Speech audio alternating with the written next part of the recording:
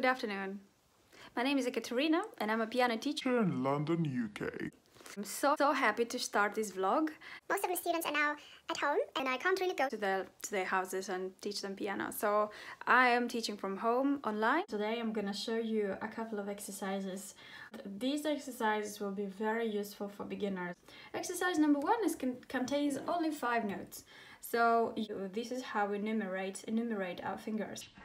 One, two, three, four, five. And then you go back without repeating this note. Okay, after you play that, you move your hand one note higher and you start now with D. Sorry, that was C. Now you move to D, okay?